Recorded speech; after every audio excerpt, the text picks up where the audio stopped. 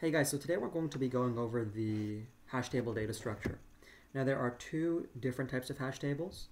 One is called one employs separate chaining and the other employs open addressing. And these are two different ways to really deal with collisions. Collisions occur when your key value pair in a hash table or you have multiple keys that have the exact same hash.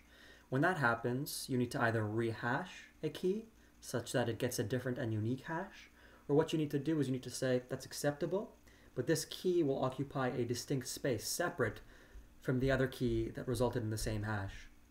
We are going to be looking at separate chaining, so using linked lists in order to prevent, or rather uh, deal with collisions. So let's get started.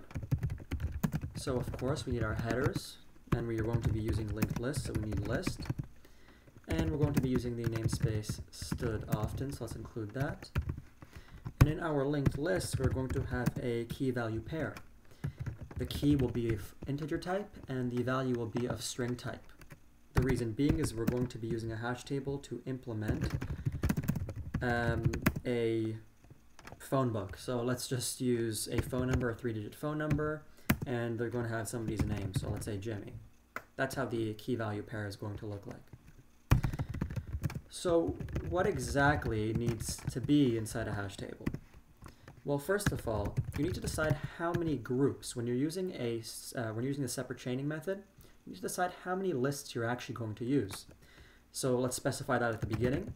So we will have a constant amount of lists, so hash groups. And that constant amount is going to be, let's say, 10. Now we're going to have an array that's going to store lists, and each list is going to store pairs. It might store no pairs, it might have 20 pairs, it might have a million pairs. So how that's going to look is we're going to have an array of type list that will have a pair. The pair will store a key of type int and a value of type string. Once again, we are storing phone numbers and names. Let's call that array table, and it's going to be of size groups, hash groups, which is 10. Hence, list 1 is going to be index 0, list 2, index 1, yada yada yada. Alright, now that we understand how that works, let's now look at the public functions we need to define. There are several public functions, but usually the first one you can think about in any data structure is whether that data structure is empty or not. So we'll have a bool is empty, and let's make it const. Whoops, misclick. Now we also need a hashing function. Hash table wouldn't be a hash table without a hash function. That hash function is going to take our key and spit out an integer. The next thing we need to do is we need to know how to insert an item. Now, to for that item, we are going to need a key and a value. This is considered one item, one pair that will be inputted into our list here. Next, we will be learning how to remove an item, or what we will need to do is remove an item. And because each key is distinct, and each key only appears once, we will only be removing one item when we call this function. We also want to be able to search this hash table. So what do we want to do to search? We want to input a key and receive a string value in return. String. Search item. Let's call it search table. Int key. Let's also be a little more expressive and have a print table function that prints the contents of the hash table. Awesome. Start with the easiest thing. That's going to be whether it's empty. So how do I know whether this hash table is empty? Well, we have a hash table. We have a table, which is an array of several list objects. Each list object can have zero pairs, one pair, as many pairs as it likes. So what we need to do is we need to find out whether the cumulative size of each list, list 1, list 2, list 3, list 4, etc., is greater or equal to 0. If it's equal to 0, well, we know that this whole entire hash table is empty. If it's greater than 0, then we know at least one of these lists has a pair, a key value pair. So let's call this variable sum. Now let's say, um, forgot my const. Now let's say for i, int i, i is less than hash groups, i plus plus. We want to go over each hash group, so each list, and ask it whether it's empty. So we want to sum the size of each list. So this will give us list i, and we want to find its size. Now, if sum is 0, then what we want to do is we want to say, yes, it's empty. If sum is not 0, then we want to return false. Simple. Let's look at our next function. It's a hashing function, so a hash table, hash function, you put in a key. And because there are only 10 different lists that we have, we want to return a value between 0 and 9, right? Arrays are 0, uh, zero based. So how do we do that? Well, we can simply return uh, the modulus of this key with hash groups. So if we have a key that let's say is 905,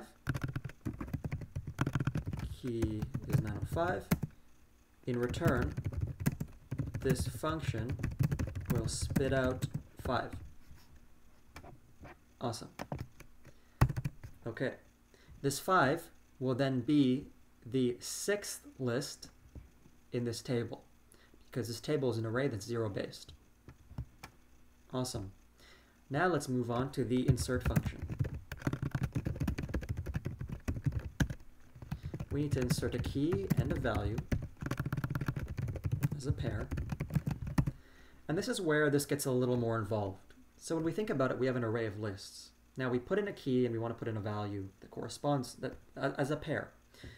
That key will be hashed. So we need a hash value to correspond to that key.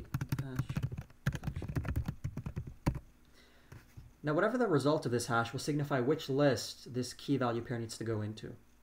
Okay, so we have a, we'll call it a cell, which will be the list that we will put in this key value pair into, which will really be the table at a given index. Awesome. Now we also need an iterator to the beginning of this list.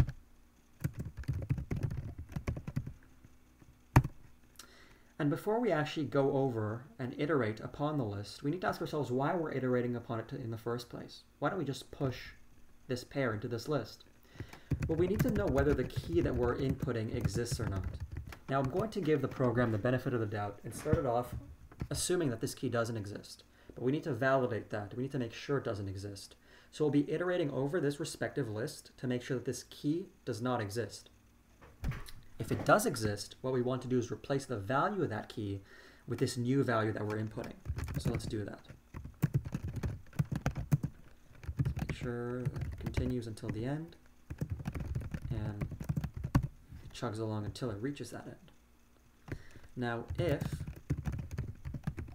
the first, which is the key, is equivalent to the key we would like to put in, well then what we want to say is yes, the key exists. We also want to replace the value corresponding to that key. Then we want to break out of this loop, because each key is distinct, it will only appear once.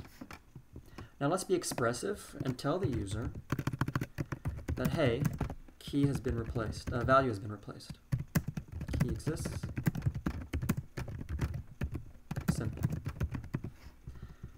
Now, we want to say, okay, let's say we've gone over this list and we notice that the key does not in fact exist. So if it doesn't exist, what we want to do is we want to push this key value pair back into that list. Place back, key. Remember that this cell is indeed the list that we're interested in. Awesome. Now we want to return. All right, let's look at our remove function. Our remove function is also involved and to some extent mirrors this insert function, but it only takes a key because each key is distinct. It will either be in the hash table or it will not be in the hash table. So let's copy some of this here because the beginning is quite similar. We have to find the list of interest and we do so by finding the hash value of the key. This will give us a list we're interested in, and we initiate or initialize an iterator to the beginning of that list. We then give it the benefit of the doubt by assuming the key does not exist. But if it does exist, then we'd like to remove that key value pair. So we iterate through, and if we find this key, then we say key does exist. And now what we want to do is we want to expunge whatever that iterator is pointing to, that key value pair. So we use the list to do that. We take the cell, which is the list of interest, and we erase what the iterator is pointing to. Now this will in fact return us an iterator to the next to, this will return an iterator to the next iterator of biter. So if biter is at position 2, this will return us an iterator at position 3. Now we can assign it to a new iterator, but the fact that we've already gone through the motion, we found and erased what's in need, what we needed to erase, we can simply just reuse this old iterator um, because there's no need to continue. We've we found what we wanted to and we've erased it. So let's just set it to this.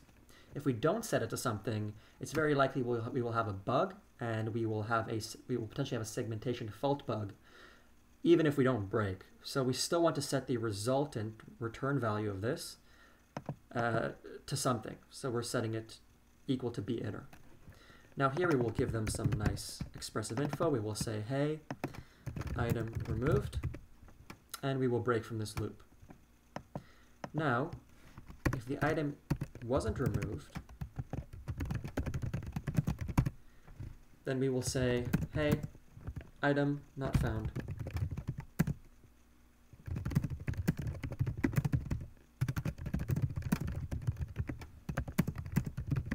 Awesome. And we will simply return. Cool. We have one more function, and that is to print everything.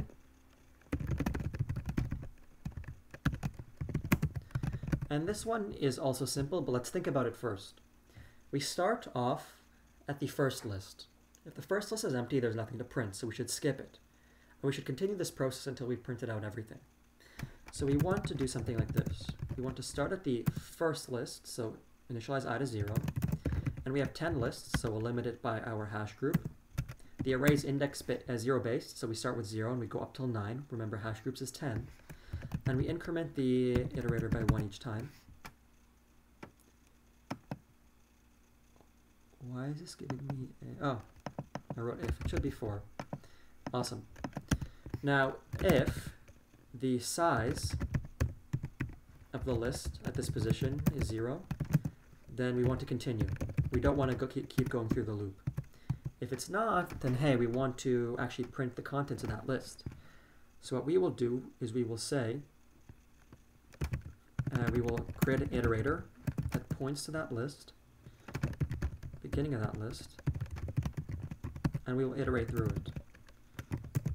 As long as biter does not equal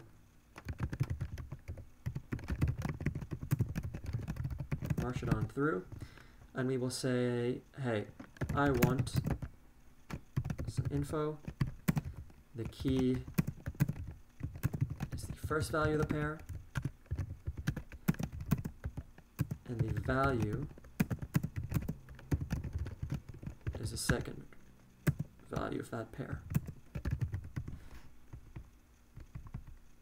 Awesome. And that's all we need to do to print. We can simply return here.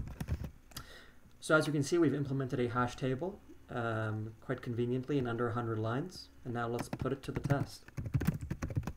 So we have a main function.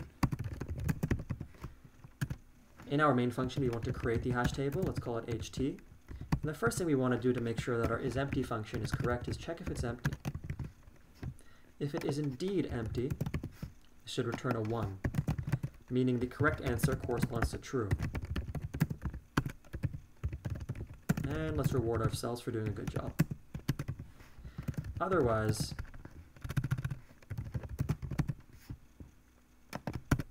there's an issue. Uh-oh.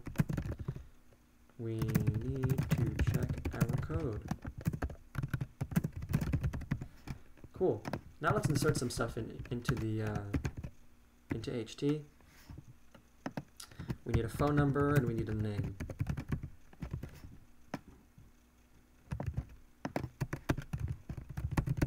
This a couple of times. And there we go. What we're going to do is we're going to insert a couple of names and numbers.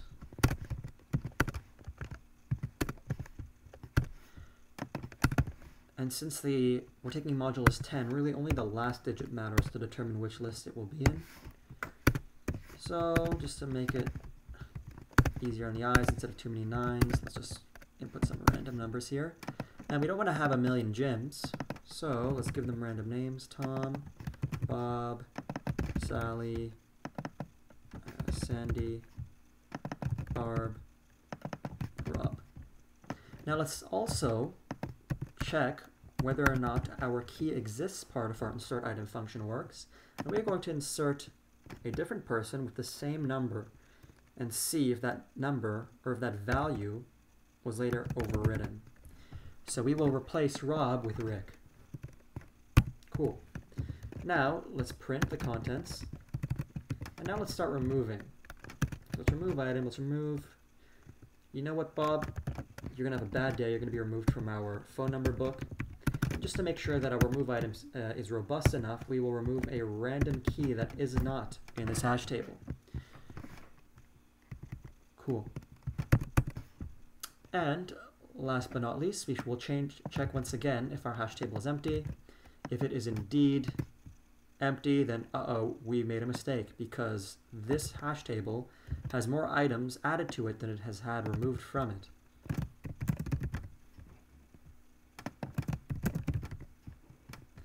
But if it is not empty, which means it will trigger false, then hey, correct answer. Good job. Awesome. So let's give it a spin. Now is the moment of truth.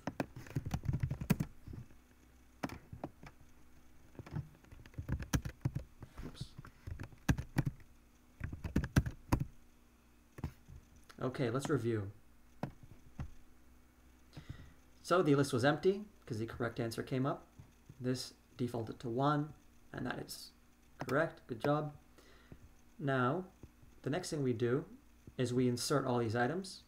We don't have any message that will tell us whether we've inserted the item or not, but we do have a message whether the value of an existing key value pair was overridden. As you can see, we get the warning message that tells us the value of Rob was replaced with Rick. We then printed out our table, and we also removed an item successfully. We then tried to remove an item that didn't exist, and it told us, hey, this wasn't found, no pair was removed. And at the end of all this, our hash table was indeed not empty. So correct answer was shown. That's it for today. Thanks for listening to the tutorial. I hope it helped you. I hope you learned a lot. If you have any comments, feedback, questions, feel free to email me or message me or leave something in the comments below. And um, I look forward to uh, the next tutorial. Bye, guys.